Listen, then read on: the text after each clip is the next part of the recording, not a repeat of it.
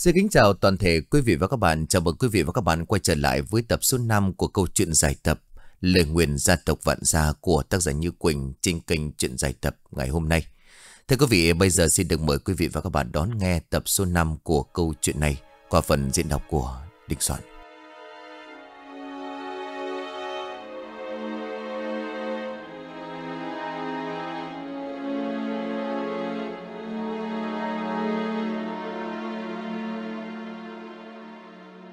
Cô nằm nói chuyện với anh một hồi rồi ngủ quên lúc nào không hay.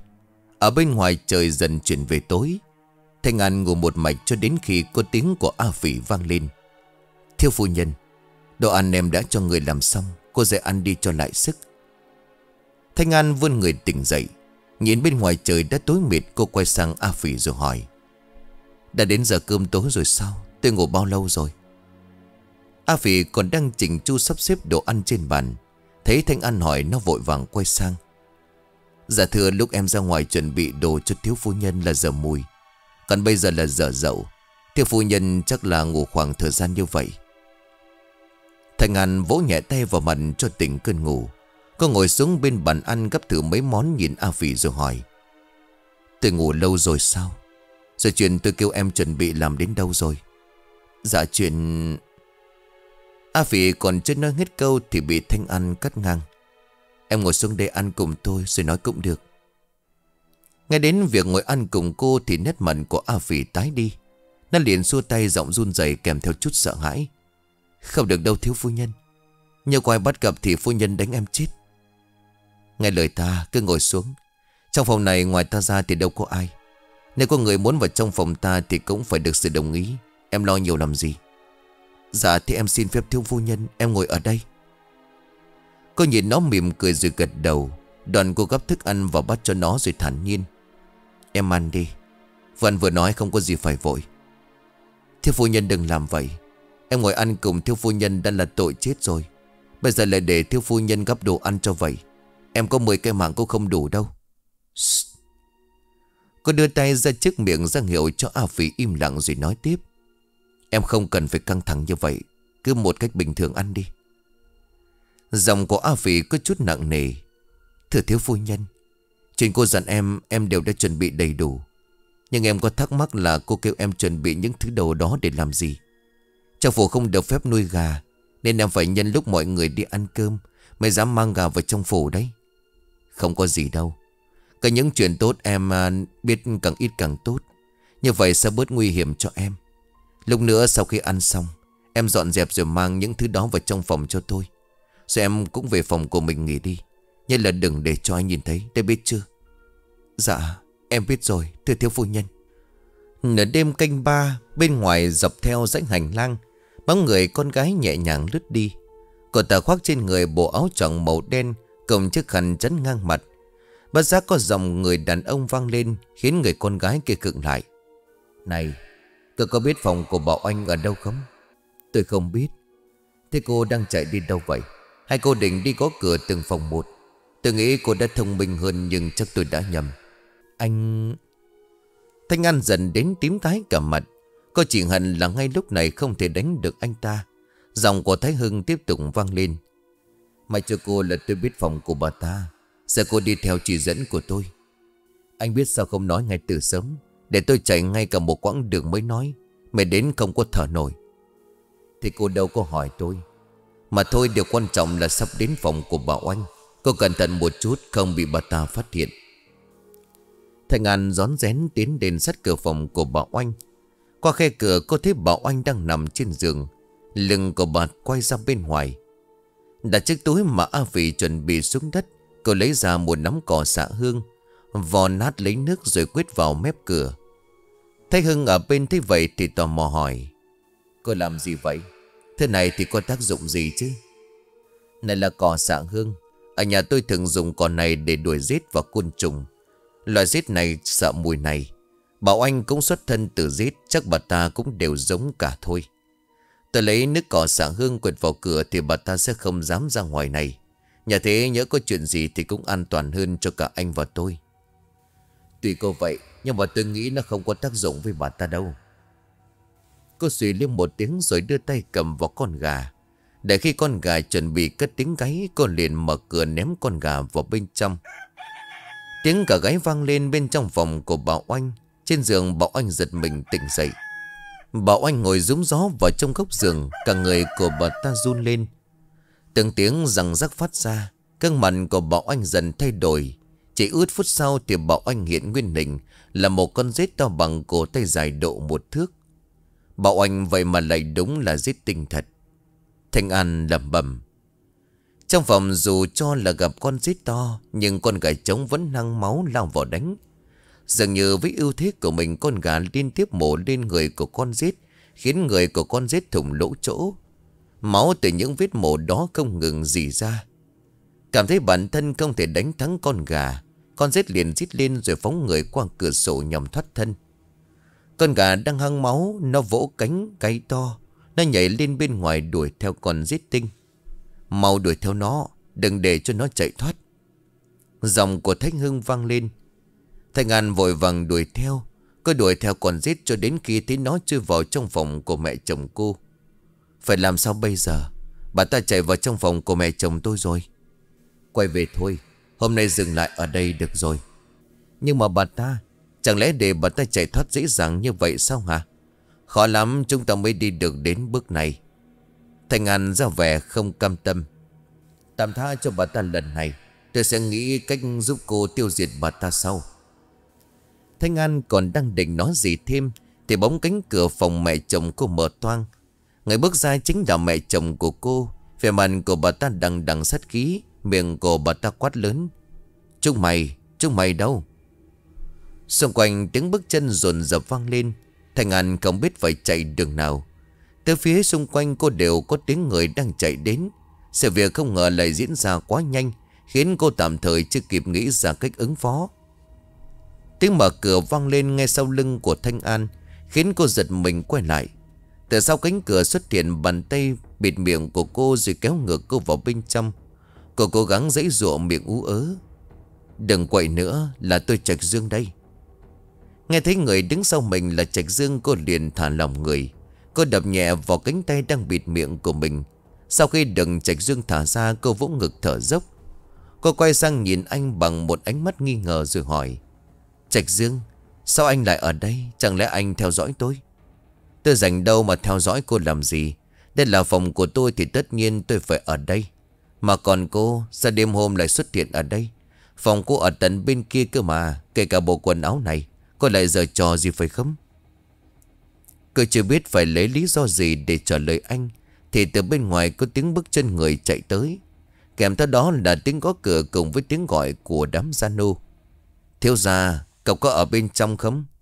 Tôi có, sao vậy? Dạ thưa cậu, Có người dám vi phạm vào gia quy, Mang gà vào trong phòng phủ. Phu nhân có lệnh phải tìm ra được người đó Để tránh nghi ngờ mong cầu cho chúng con vào kiểm tra phòng. Đêm rồi ta không muốn ai vào phòng ta, Các ngươi đi tìm chỗ khác. Bên ngoài đám gia nô nhìn nhau im lặng, Mà đứa nào đứa nấy đều hiện lên vẻ khó xử. Cho đến một lúc sau chúng mới dám lên tiếng. Thưa thiếu gia, Đây là lệnh của phu nhân, Cho con không dám làm trái Mong cậu thương tình giúp cho. Thôi được rồi các người đợi ta một chút, Ta thay quần áo xong sẽ ra mở cửa cho các người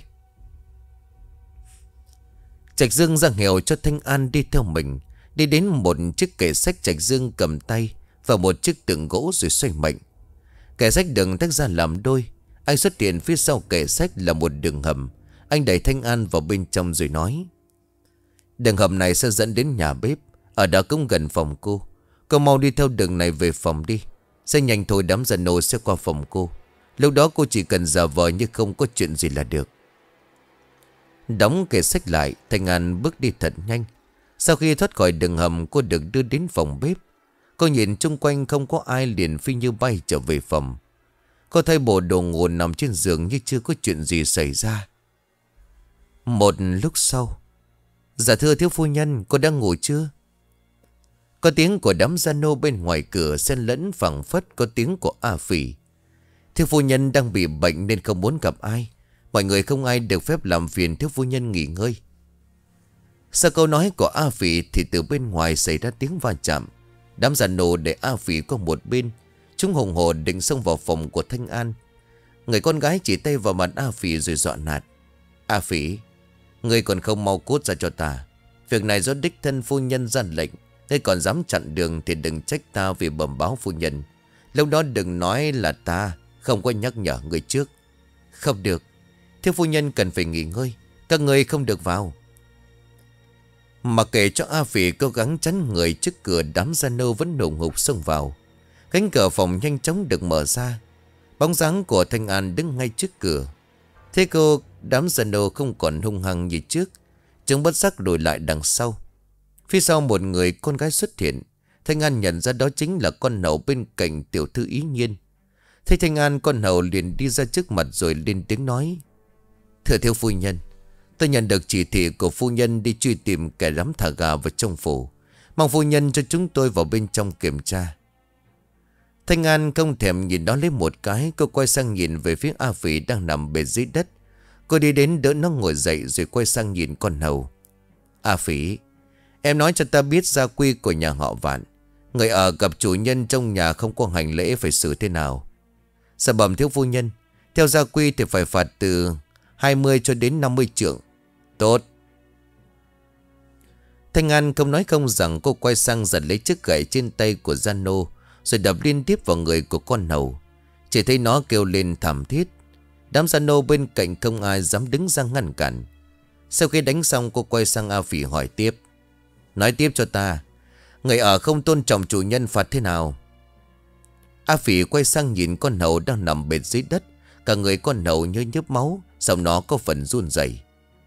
Dạ thưa phu nhân, Theo gia quy người ở vô lễ với chủ nhân, Sẽ bị phạt 80 trượng à Con hầu nghe đến 80 trượng Thì vội vàng quỳ xuống ôm chân của Thanh An.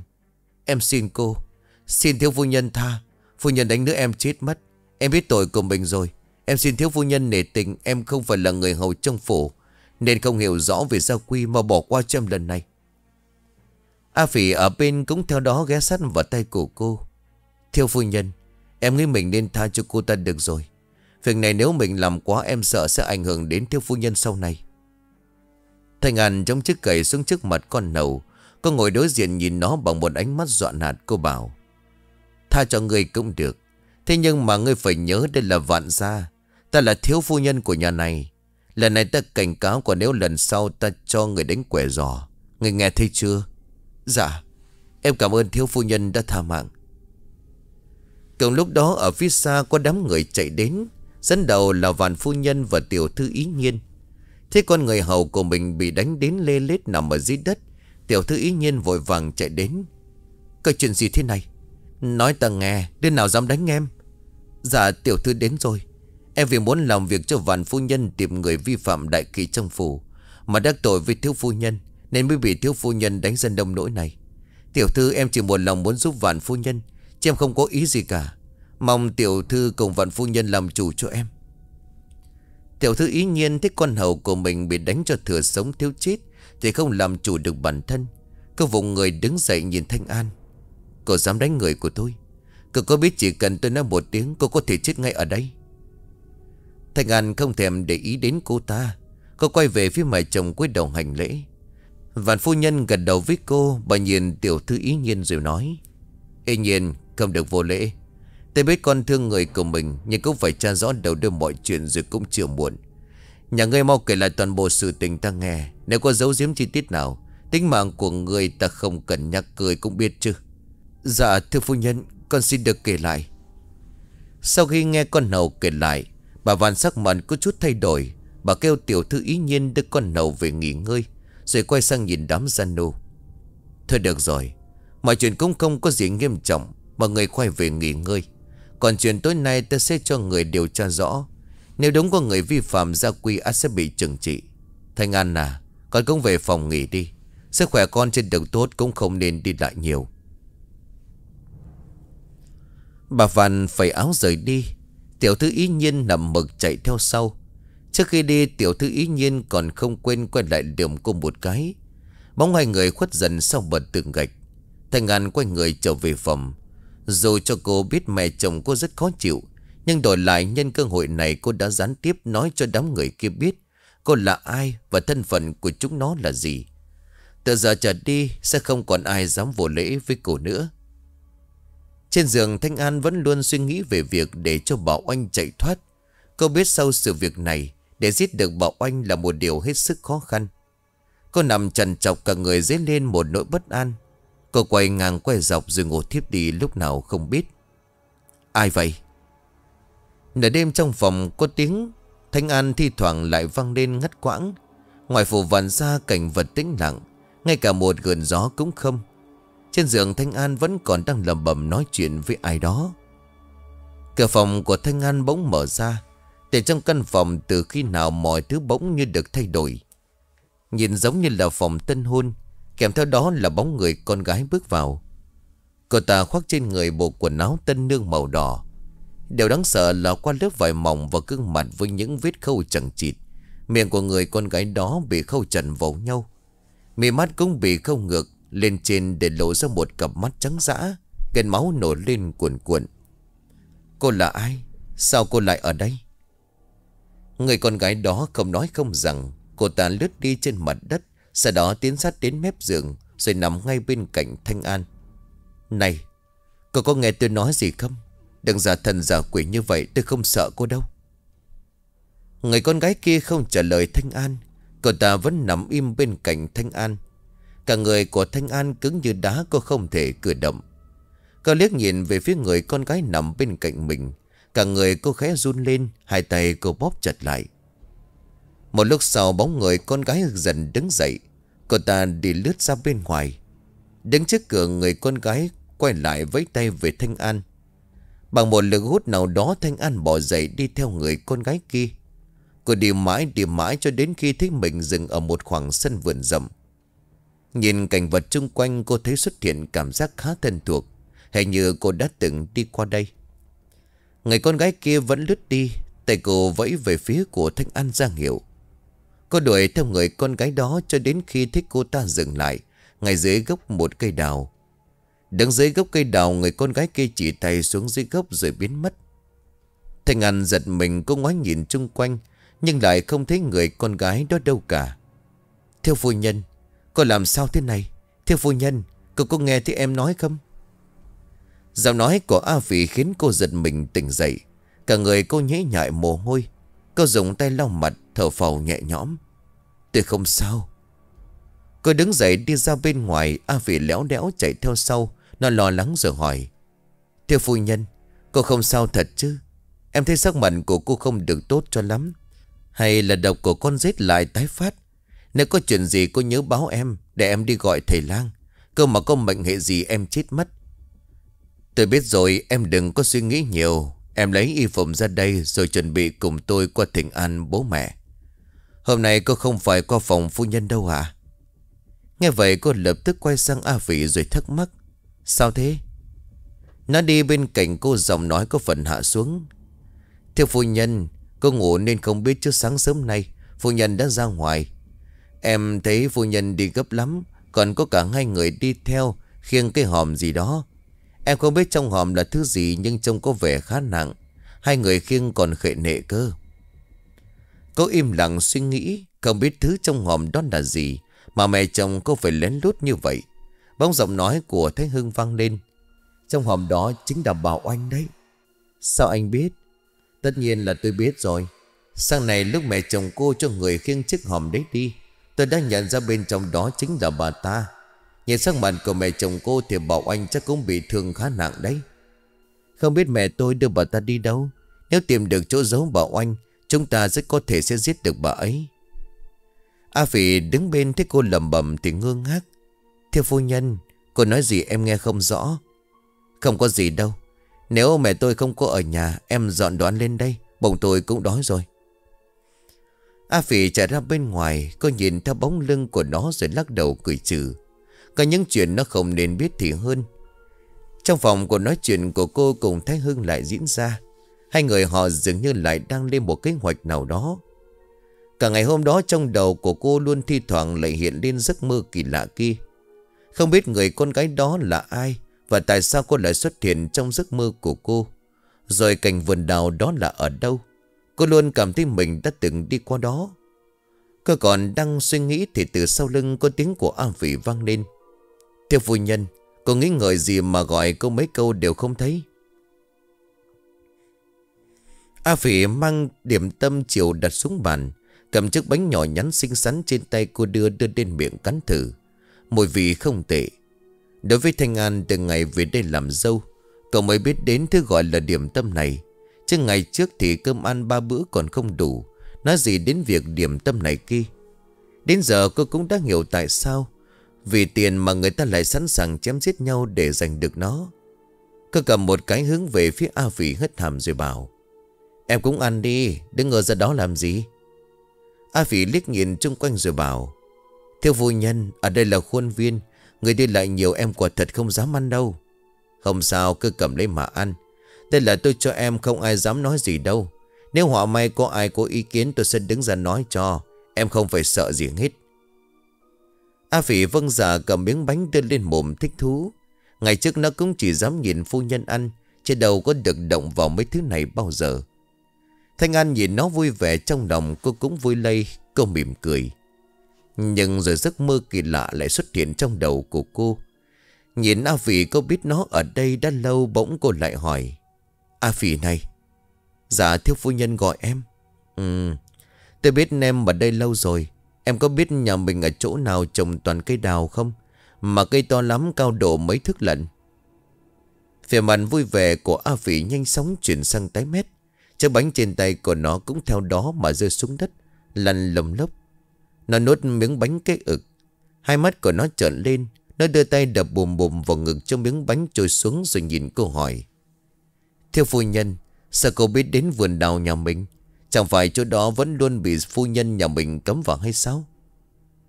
Nghe dòng điều của A Phỉ, cô cũng đoán được chắc chắn là nó biết gì. Cô liền lên tiếng rồi hỏi thêm. Em biết chỗ đó sao? Dạ em biết chứ. Ở vạn gia trừ những người ở lâu năm ra, Thì hầu như ít ai biết đến vườn đào đó. Nhưng mà từ lâu rồi phu nhân cấm mọi người không ai được ra ngoài đó. Với lại ở đó phu nhân khóa cửa cho nên cũng không ai vào được trong đó đâu, thiếu phu nhân. Em kể vậy thôi, nhưng mà thiếu phu nhân đừng có ra đó làm gì. Nếu để phu nhân biết được, Hình phạt rất là chặt tay, Rồi quẳng ra núi đấy. Mẹ tôi nói vậy sao? Dạ vâng không phải chỉ là nói không đâu, Mà lâu rồi đã có người từng trèo vào. Kết quả bị phu nhân phát hiện. Phu nhân cho người chặt chân rồi quăng ra núi ấy. Em cũng không biết thực hư thế nào vì hôm đó em phải theo lão ra ra ngoài, Nên chỉ nghe mọi người kể lại thôi. Nói thế chứ em nghe kể thôi cũng đã sợ. Trên lúc đó có bảo em xem, em cũng không dám Gây chết đi được. Tôi biết rồi, Em dọn dẹp đi, Rồi chuẩn bị nước cho tôi tắm rửa. Mà hôm nay là bao nhiêu âm rồi nhỉ? A Phỉ dọn dẹp đồ đặc vào mâm, Nó chạy theo phía sau cô cất tiếng nói. Dạ thưa thiếu phu nhân Này là 14 âm lịch ngày mai là rằm. Thế là tôi nhớ đúng rồi, Ngày mai sẽ có lễ cúng gia tiên. Em nhớ gọi tôi dậy sớm để chuẩn bị mọi thứ. Dạ em nhớ rồi. Thôi hết việc của em rồi. Em mang điểm tâm đến về phòng mà ăn, Tôi không cần dùng đến nó nữa. Mà nhớ chuẩn bị nước nóng với y phục cho tôi đã biết chưa? Em biết rồi. Theo phu nhân cho em mang thứ này về phòng có mấy đứa ăn, Rồi em qua chuẩn bị cho cô ngay. A Phỉ cúi đầu cảm ơn cô rồi chạy đi thật nhanh. Cô nhìn theo nó lắc đầu cười khổ Cô đi ngang qua phòng của Trạch Dương nhưng không thấy anh đâu cả Cô tự hỏi không biết anh đang làm gì Cô thở dài ra bước thật nhanh qua phòng của anh hướng về phòng của mình Sáng hôm sau khi trời còn tầm mờ tối, Thành An đã ra ngoài phụ giúp bà Vạn chỉ đạo đám người ở Ngày rằm hàng tháng là một ngày rất quan trọng với vạn gia. Đồ lễ, đồ cúng đều phải được chuẩn bị kỹ càng và cẩn thận. Xì hoa, tôi đợi gì từ sáng đến giờ. Thưa phu nhân à, có ngày càng ra dáng rồi đấy. Đúng là không uổng công sức của tôi mấy tháng trời. Thưa phu nhân dạo này khỏe không? Hôm trước tôi nghe người làm trong nhà báo lại. Cô bị giết độc cắn. May là cô không sao, phúc đức quá. Dì Hoa nhìn ngó chung quanh không thấy ai ở gần gì để nói tiếp. Thưa phu nhân à Từ ngày cô trở về bà chủ không có làm gì khó cô chứ Thanh An mỉm cười Sau những ngày cô đừng dì Hoa chăm sóc để trong lòng của cô cũng hiểu người của dì Hoa là như thế nào. Cô không muốn dì Hoa phải lo lắng suy nghĩ cho mình. Cô vui vẻ bảo, Dì lại nghĩ ngợi nhiều rồi đấy. Mẹ chồng à, vẫn tốt với cháu lắm, Dì cứ an tâm, Nghỉ ngơi ở thôn An Lạc. Thì thoảng lại về đây chơi với cháu là được rồi. Dì Hoa nhìn cô bằng một ánh mắt nghi ngờ, dì bảo, Thiếu phu nhân nói thật chứ. Nếu được như vậy thì tốt. Nhưng mà thiếu phu nhân à có phải hết sức cẩn thận. Ở đây mọi thứ cô đều phải suy nghĩ kỹ rồi mới được làm nhé. Cháu biết rồi Mày không nói chuyện này nữa. Dì ra đây với cháu, Chỉ đào mấy đứa người ở cho chúng nó làm việc. Công sắp đến lúc phải cúng bái gia tiên rồi, Nên cũng chuẩn bị nhanh đi kẻo muộn giờ mất. Cô kéo dì Hoa vào bên trong. Nhà họ Vạn có tục lệ chỉ con trai mới được thắp hương cho tổ tiên. Tất cả nữ tử dâu con dâu cháu thì đều phải đứng bên ngoài từ đường. Bên trong từ đường có bóng vía của vạn lão gia cùng với trạch dương. Hai người họ một thấp một cao, Một trên một dưới thay nhau thắp từng nén hương và từng bài vị. Thành An nhìn theo những cử chỉ của trạch dương. Một sức hút kỳ lạ khiến mắt cô cứ dán chặt vào người của anh. Chiều tối sau khi buổi lễ đã xong, Mọi người tụ tập dùng cơm tại bên ngoài nhà chính. Thanh An dù trong người không được khỏe, Nhưng cô vẫn cố gắng ở lại dùng bữa với mọi người. Khi cô vừa bước vào trong phòng Thì ở bên trong đã có giọng của tiểu thư ý nhiên vọng ra. Anh về bao giờ về Đại Nguyên? Sao anh về mà không nói cho em một câu? Anh có biết em ở đây đợi anh đã lâu lắm rồi không? Trong phòng, tiểu thư ý nhiên ngồi sát bên cạnh Trạch Dương. Thế Thành An đi vào, Trạch Dương liền đẩy khéo tiểu thư ý nhiên ra xa. Anh hắng giọng rồi bảo, Tiểu thư ý nhiên, mong cô tự trọng. Tôi dù gì cũng đã là người có vợ Mặc dù theo gia quy nhà họ vạn trong một năm, Không được ở cùng nhau, Nhưng tôi vẫn là người có vợ. Vậy nên tôi mong tiểu thư kiểm soát lại hành động của mình.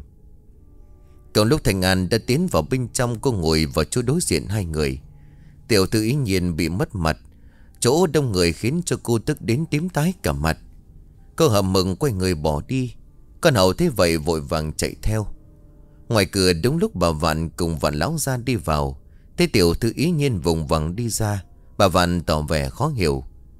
Trên bàn Thanh An cùng A Vị nhìn nhau cười tùm Thật không ngờ đường đường là tiểu thư trong phủ Mà lại bị mất mặt trước đám người ở như vậy.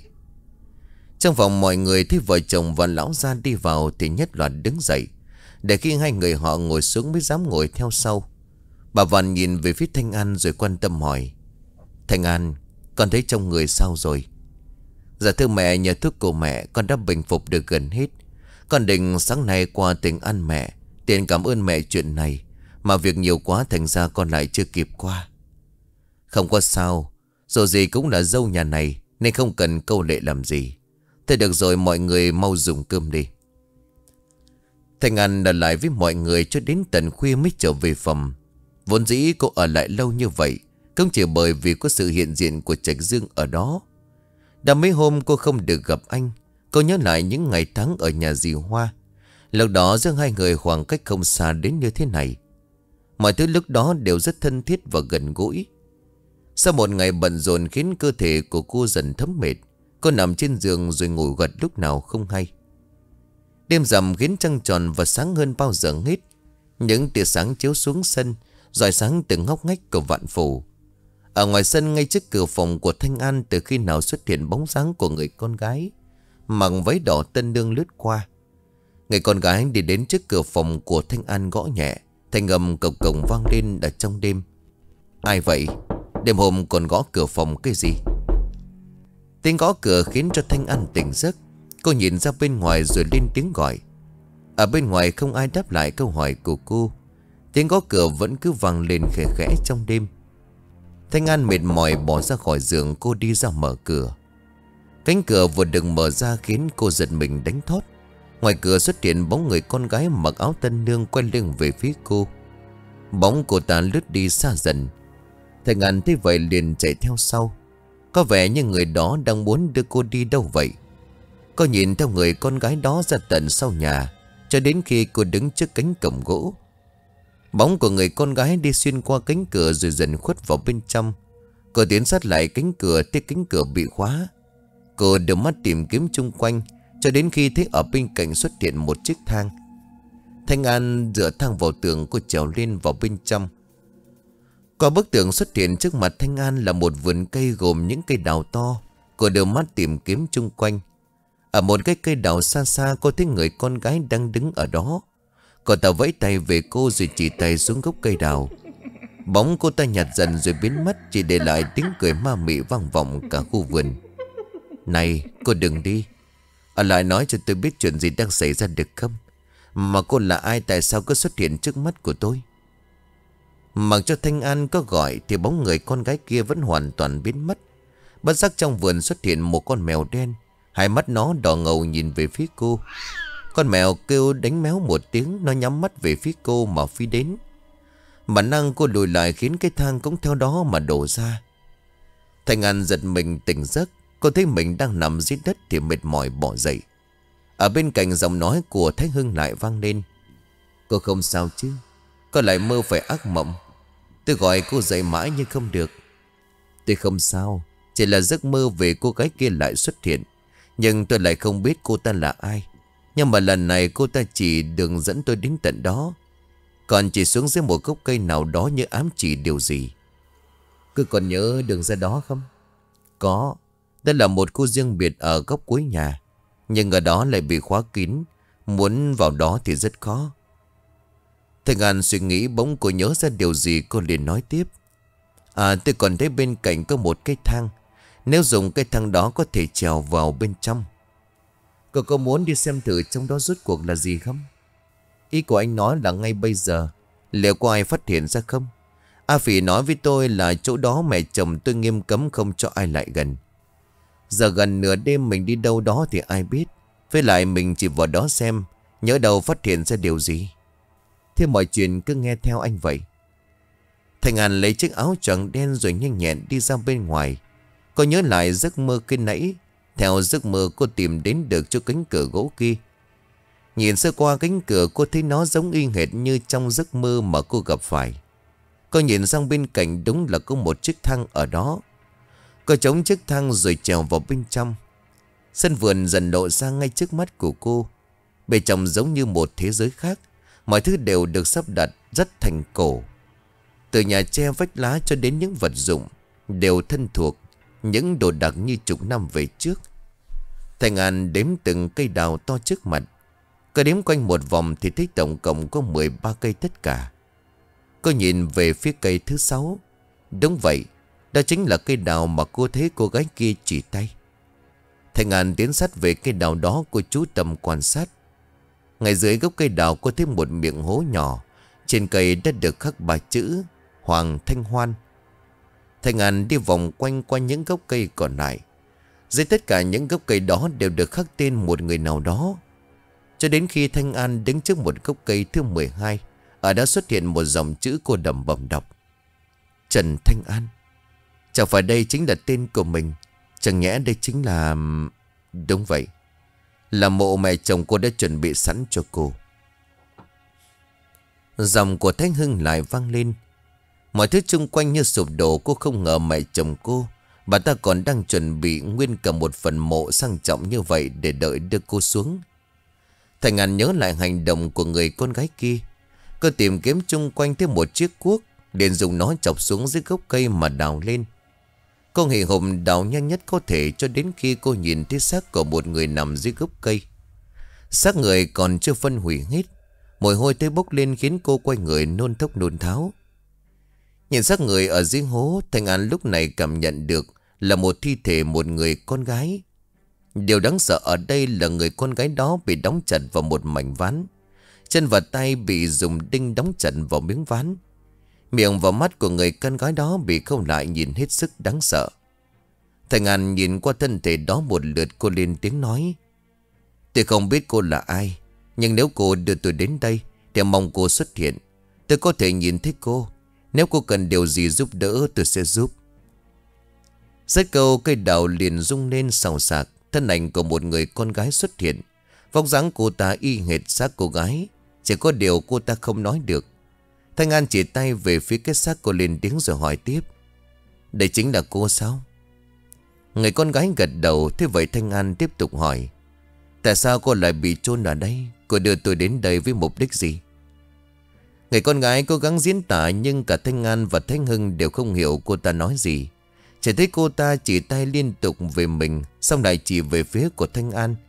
Thấy Thanh An không hiểu, cô ta lại chỉ tay vào miệng, Rồi chỉ về phía miệng cái xác. Lúc này Thanh An mới hiểu ý cô ta, Cô liền nói tiếp.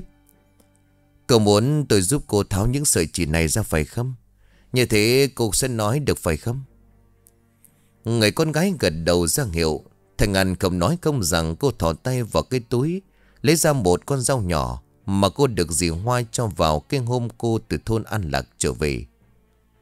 Thành An trèo xuống dưới cắt những sợi chỉ ở miệng cô gái ra. Tiện thể cô cũng cắt luôn những sợi chỉ ở mắt người con gái kia. Cho đến khi dòng người con gái kia văng lên Thì cô mới dừng lại. Cảm ơn cô, Cảm ơn cô đã giúp tôi. Thanh An quay lại, cô nhìn về phía người con gái kia. Cờ cất con dao trở lại túi rồi trèo lên trên. Cô làm gì vậy? Mau đứng dậy đi. Tôi giúp cô cũng chỉ vì linh cảm của tôi mách bảo. Cờ là người tốt. Thật sự cảm ơn cô đã giúp tôi. Thế cô là ai? Sao cô lại ở đây? Mà chỗ này là chỗ nào? Người con gái sụt sùi khóc. Cô ta ngồi xuống bên cạnh gốc đào. Thành An cũng đi đến ngồi bên cạnh. Nhìn người con gái này Thành An lúc này cảm nhận được dường như cô ta lúc sống Đã từng bị đối xử rất ác nghiệt Nên mới tủi nhục đến như vậy. Tiếng khóc của người con gái cứ như vậy vang lên ra giết thê lương chung quanh khu vườn.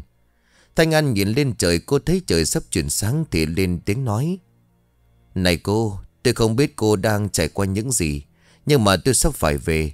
Cô cần tôi giúp đỡ thì cứ nói tôi sẽ cố gắng giúp cô. Người con gái không khóc nữa, Cô ta nhìn Thanh An đối diện. Vẻ biết ơn cô ta nhẹ nhàng rồi nói, Cảm ơn cô đã giúp tôi. Tôi biết cô là người tốt Nên tôi cũng không giấu giếm cô điều gì. Tôi tên là Yên Nhiên. Tôi vốn là con trong một gia đình nghèo khổ Nằm ở phía đông trấn phòng trí Năm tôi 5 tuổi, Vì gia đình nghèo đó nên tôi bị bán đến vạn gia. Cho đến khi tôi được 17 tuổi Vạn phu nhân cho người ép tôi phải kết hôn với người con trai đã chết của bà. Sau khi làm xong nghi lễ, Thì tôi bị đặt vào tấm ván. Bọn chúng dùng đinh đóng vào tay vào chân tôi. Sau đó dùng chỉ khâu miệng của tôi, Khâu mắt của tôi, Khiến tôi không thể nói Mà cũng không thể nhìn thấy được. Người con gái kia lại sụt sùi khóc. Thành An nhìn cô gái trước mặt Trong lòng cô nghiện lên nỗi thương cảm, Cô hỏi thêm. Cô bảo cô là con dâu nhà họ Vạn Chẳng lẽ nhà họ Vạn đã lấy vợ cho con trai của họ? Đúng vậy. Tôi là con dâu thứ 12 Và cô là người cuối cùng.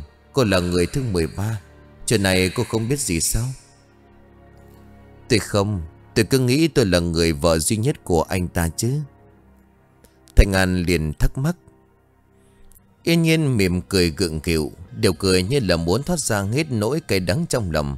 Yên nhiên thở dài rồi nói Cô không biết thì cũng đúng thôi. Cô là người cuối cùng nên đám cưới của cô mới được tổ chức long trọng như vậy. Còn chúng tôi vốn chỉ là những người được bà ta tuyển chọn để phục vụ cho mục đích của bà ta. Tất cả chúng tôi đều là những người một, thì bị mua về, Hai thì là được nuôi từ bé trong phủ. Và nghi lễ minh hôn đó đều được diễn ra âm thầm, Và chúng tôi đều sẽ chôn sống ngay sau đó.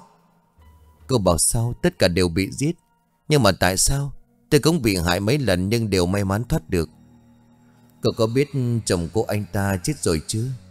Tôi biết. Chính mẹ chồng tôi đã nói cho tôi chuyện đó. Yên nhiên thở dài rồi nói tiếp.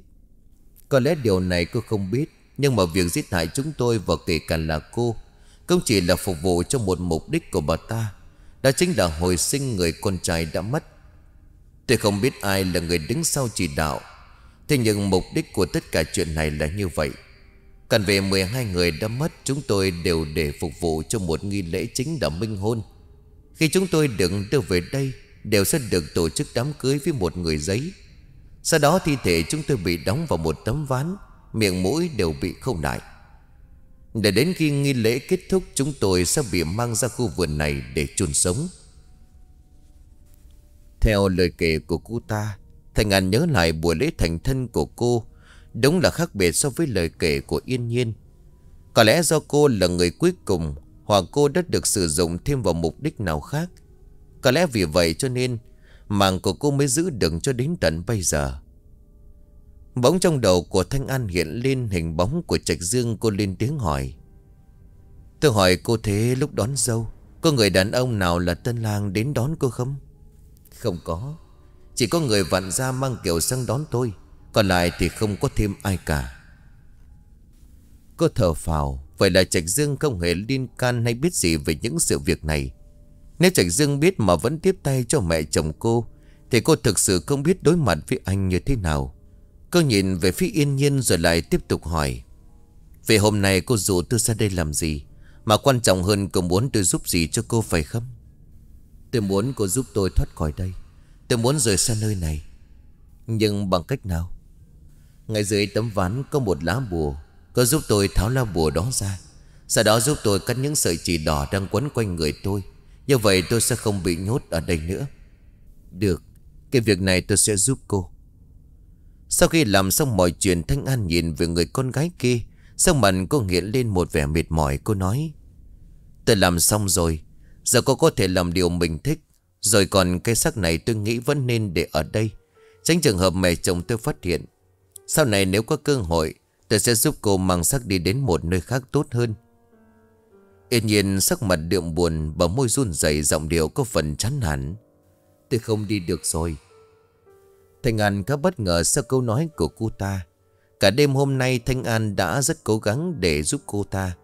Vậy mà khi mọi việc vừa xong, Thứ cô nhận lại được lại là một câu nói Như muốn gạt bỏ hết công sức của cô. Cô liền khó hiểu rồi hỏi Tại sao cô không đi được? Chẳng phải tôi đã làm hết mọi thứ theo yêu cầu của cô rồi sao? Yên nhiên gục đầu vào tay cô ta thất vọng. Tôi quên mất rằng mình đã ký khế ước làm dâu nhà họ vạn. Cho dù thân thể đã được giải thoát, Nhưng có một điều là khi nào tờ khế ước đó còn, Thì tôi vẫn còn bị nhốt ở đây. Thanh An không hiểu người con gái kia nói đến điều gì, cô hỏi, Khế ước? Cô bảo tờ khế ước là gì?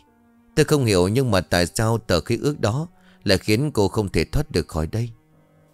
Đó là một tờ khí ước màu đỏ, Trong đó có viết nếu như cô nhận phong bao lì xì của vạn gia, Thì sau khi cô điểm chỉ vào đó, cô mãi mãi là người của vạn gia. Cho dù cô biến thành ma thì vẫn phải ở trong vạn gia này. Một tờ giấy màu đỏ, thêm vân tay đỏ. Sống là người nhà tao, Chết là mai nhà tao.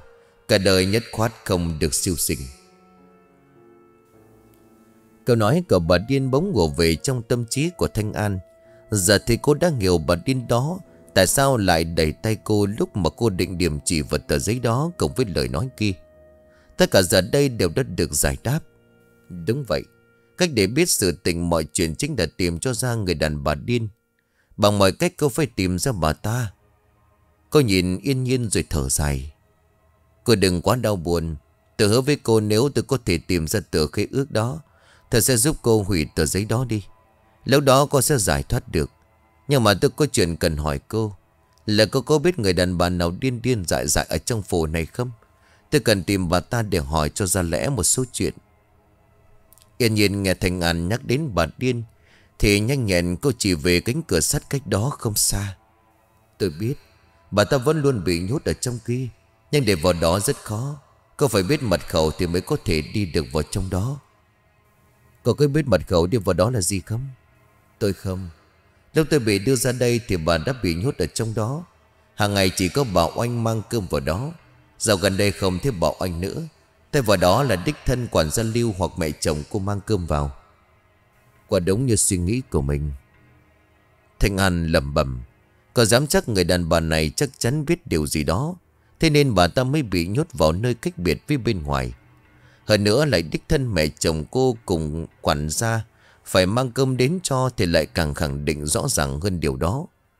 Thế ngoài trời đã dần sáng, cô nhìn về phía yên nhiên rồi nói, Giờ tôi phải quay về rồi. Lúc nữa đám người làm ngủ dậy, Nhưng có ai nhìn thấy tôi ở đây sẽ xảy ra chuyện. Nếu cô không còn chỗ nào để đi Thì có thể đến phòng tôi. Tôi sẽ coi cô như là tỉ muội. Yên nhiên nhìn Thanh An bằng một ánh mắt cảm động. Cô quỳ sụp xuống đất rồi sụt xịt khóc. Cảm ơn cô. Tôi không biết phải lấy gì để báo đáp cho cô cả. Cô đúng là người tốt tôi cảm ơn cô. Thôi được rồi Có gì đâu mà cảm ơn. Nào mau theo tôi quay về nhanh đi kẻo không kịp. Tới lúc vào trong khu vườn Thanh An không thấy Thái Hưng đền tiếng. Vừa về phòng cô liền gọi anh hỏi anh làm gì mà im lặng suốt vậy? Giọng của Thái Hưng nhàn nhạt, nhạt đáp Tôi suy nghĩ Thanh An nhìn về phía của Yên Nhiên đang đứng ở bên ngoài, Cô điện nhẹ giọng. Anh suy nghĩ chuyện gì? Chẳng lẽ là cô gái kia có gì khác lạ sao? Cô ta thì có gì để tôi phải suy nghĩ chứ? Cô ta cũng giống như là cô thôi. Chỉ có điều cô ta không được may mắn như cô. Vậy anh đang suy nghĩ chuyện gì? Sẽ tôi và anh có gì mà phải úp mở? Tôi đang suy nghĩ về Bảo Anh Nếu bà ta có thể ẩn nấp. Ngài thấy Hưng nói đến chỗ Bảo Anh có thể ẩn nấp Thanh An liền không giữ được cảm xúc. Từ ngày Bảo Anh chạy thoát, Cô vẫn luôn canh cánh về chuyện này, Cô vội hỏi. Anh nói sao? Anh biết chỗ bà ta ẩn nấp thật hả? Chỉ là suy đoán của tôi thôi, Nhưng mà tôi chắc chắn đến 90% là đúng. Anh nói cho tôi biết đi, Bà ta rút cuộc đang ở đâu? Bảo Anh vốn là giết thành tinh, Mà theo tôi biết khi giết thành tinh Bị gà đánh đến nỗi bị thương, Thì sẽ cực kỳ nguy hiểm mà Bảo Anh lại bị mất rất nhiều máu Trong lúc đánh nhau với con gà. Nếu phải chỉ thương thì bà ta sẽ phải đến Ở một nơi luôn tiếp xúc với máu. Có như vậy thì bà ta mới có thể hồi phục được. Mà cô cũng biết rồi đấy, Ở đây chỗ nào cũng là nơi hàng ngày tiếp xúc với máu nhiều nhất. Cô bắt đầu suy nghĩ Nhưng vẫn không thể tìm ra chỗ đó là chỗ nào. Bỗng có một giọng nói của yên nhiên vang lên Khiến cô giật mình nhìn sang từ khi nào yên nhiên đã đứng ngay bên cạnh cô? Nên hàng ngày tiếp xúc với máu nhiều nhất, Theo tôi nghĩ chính là lò mổ. Ngày xưa nhà tôi có kinh doanh lò mổ, Nên điều này tôi có thể chắc chắn như vậy. Cô giết bà Oanh thì cũng coi như giúp tôi trả thù. Bà ta chính là người đã đóng đinh vào chân vào tay của tôi. Tôi hận bà ta, Tôi hận những người chung quanh bà ta. Nhưng kẻ đã giết tôi, Bọn chúng đều phải trả giá. Yên nhiên không giữ được bình tĩnh. Cậu vẫn luôn bị ám ảnh vào cái đêm đó. Thanh An biết điều đó, Cô nhìn về yên nhiên nhẹ giọng nói. Cô cố gắng giữ bình tĩnh, Tôi sẽ giúp cô trả thù. Còn về chuyện lò mổ ở thị trấn này Thì có rất nhiều lò mổ. Chúng ta phải biết bắt đầu tìm ở đâu. Chẳng nhẽ phải đi tìm tất cả lò mổ để tìm sao? Không cần phải như vậy. Để chữa thương thì bảo anh sẽ cần rất nhiều máu. Vậy nên chúng ta chỉ cần tìm ra lò mổ lớn nhất Là có thể tìm ra được bà ta hơn nữa người làm được việc này chỉ có duy nhất một mình cô. Chính là dựa vào đôi mắt âm dương của cô chắc chắn sẽ tìm được bà ta. Thanh An đưa tay lên xoa mắt. Đúng vậy, Đôi mắt này của cô có thể nhìn được tất cả mọi thứ. Miễn không phải là người Thì sẽ đều bị đôi mắt này nhìn thấu. Nhưng rồi điều quan trọng hơn cả là Bây giờ cô phải tìm ra một lý do hợp lý Để có thể ra bên ngoài Mà không để mẹ chồng cô nghi ngờ mà ngoài mẹ chồng cô ra, còn một người nữa cô cũng phải để ý. Đó chính là quản gia Lưu. Ông ta cũng không phải là người đơn giản. Cô bắt đầu ngồi suy nghĩ Sao mặt cô liền thay đổi liên tục Cho đến khi miệng cô khép mỉm cười. Cô vẫy vỗ tay vào đùi đánh chát. Tôi có cách rồi. Cách gì? Thanh Hưng lên tiếng hỏi. Thanh Ngân đứng dậy, dáng vẻ điều bộ cô bắt đầu nói. Tôi hỏi anh sau ngày rằm Thì mẹ chồng tôi thường làm gì? Thế Hưng suy nghĩ một lúc rồi lên tiếng. Sau ngày rằm chẳng phải bà Vạn vẫn luôn đi lễ chùa vào buổi sáng. Sau đó buổi chiều sẽ qua loan hỷ phường phát gạo làm phúc hay sao? Đúng vậy, Mà ngày đó thì Lưu quản gia chẳng phải luôn đi túc trực kế bên mẹ chồng của tôi. Chúng ta chỉ cần nhân thời cơ này trốn ra ngoài thì sẽ không ai biết cả. Thế Hưng bây giờ mới hiểu được mọi chuyện Anh à lên một tiếng rồi cùng cô cười lớn. Hai người bắt đầu thống kê những nơi cần phải đi để có thể tìm ra bảo oanh. Nhưng lò mổ đó bắt buộc phải có điểm chung, chính là phải liên quan đến vạn gia. Mà những lò mổ liên quan đến vạn gia tất cả đều ở trấn phong trí. Hay nói đúng hơn là chính ở ngoài chợ huyện. Bên ngoài trời đã chuyển sáng, tiếng dép lại cày cùng giọng nói quen thuộc của A Phỉ vang lên ở ngoài cửa. Tiêu phu nhân, trà sáng rồi em mang nước nóng cùng y phùng vào cho cô. Thanh An đưa tay lên rồi hắng giọng cô bảo Ờ em mang vào đi. Cánh cửa phòng nhanh chóng được mở ra. Theo đó là vóc dáng A Phỉ nhanh nhẹn tiến vào bên trong. Thấy Thanh An đang ngồi ở ghế, nó liền đi đến lo lắng hỏi, Thưa phu nhân, cô không sao chứ? Cả đêm qua cô không ngủ được hay sao Mà mắt cô lại thâm quầng hết cả như vậy?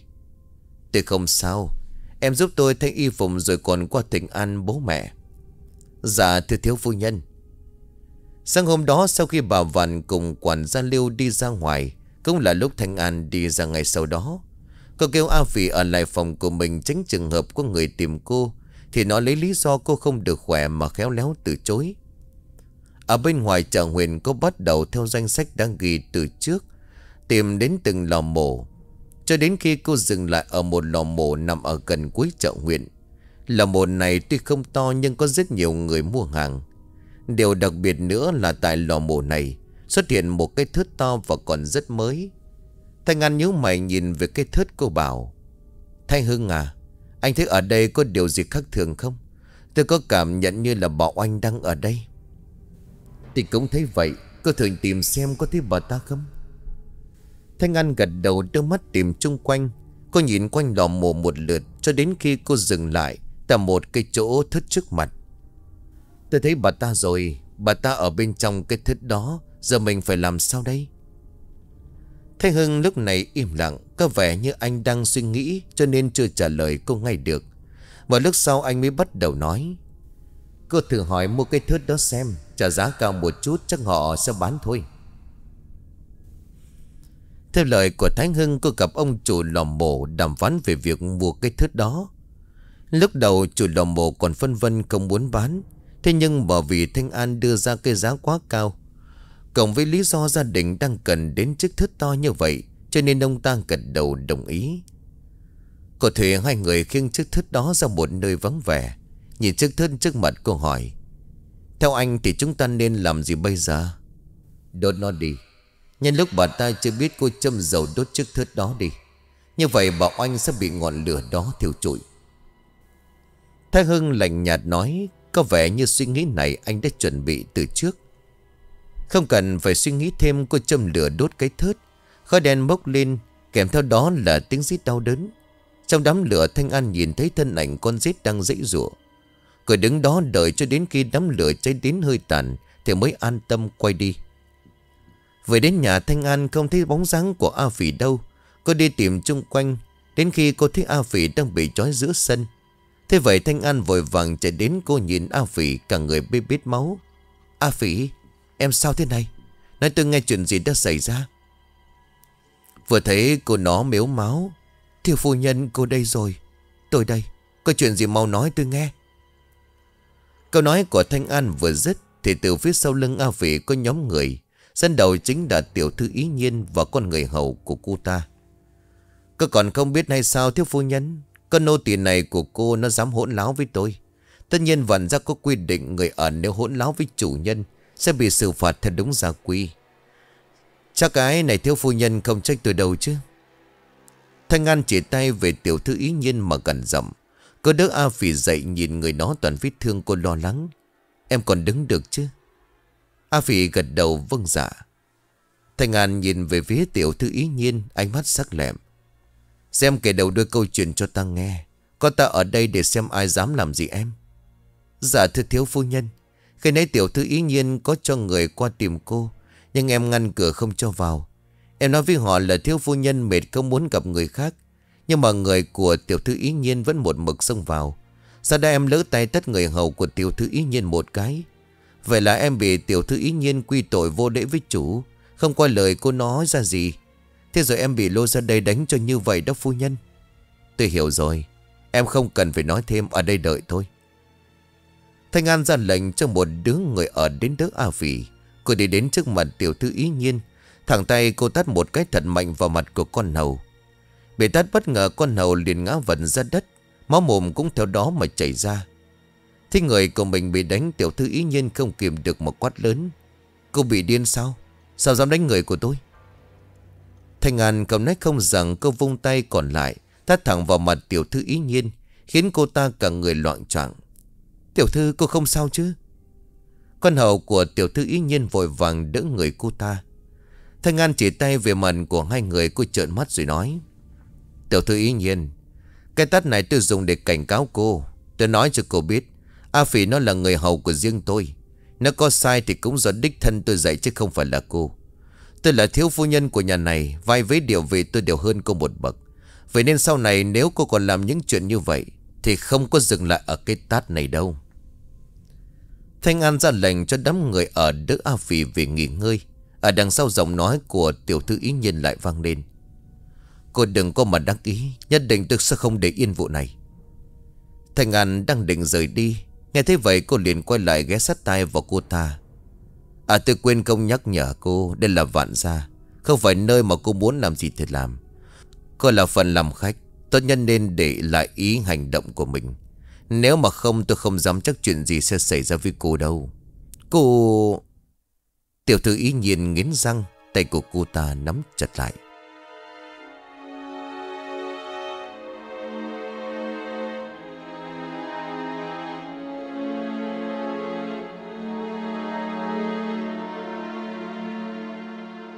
Xin cảm ơn quý khán thính giả đã chú ý đón nghe. Xin kính chào, tạm biệt quý vị và xin hẹn gặp lại quý vị và các bạn trong tập tiếp theo của câu chuyện này.